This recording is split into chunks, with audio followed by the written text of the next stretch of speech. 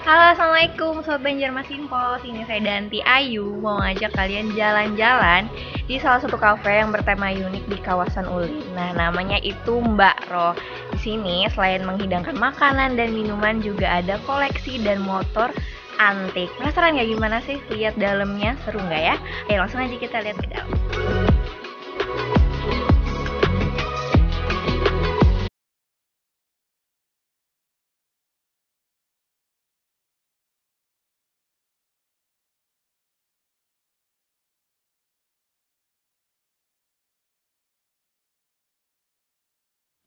Di barang ini tempatnya lucu banget karena kita ada koleksi-koleksi mobil dan motor klasik.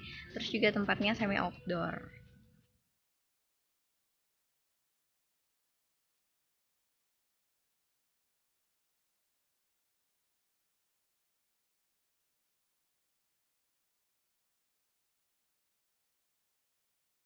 Ini menu favorit di Baro ini yang paling sering dipesan apa biasanya? ayam goreng kemangi sama taliwang. Ayam goreng kemangi sama taliwang. Bedanya apa sih Mbak dari kedua itu tadi?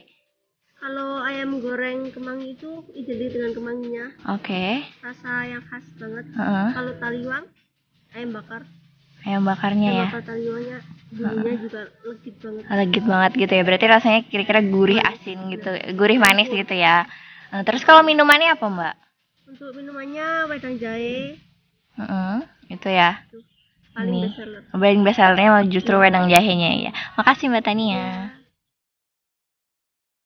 Tuh pemandangan di Mbak Roh ini langsung ke areal persawahan.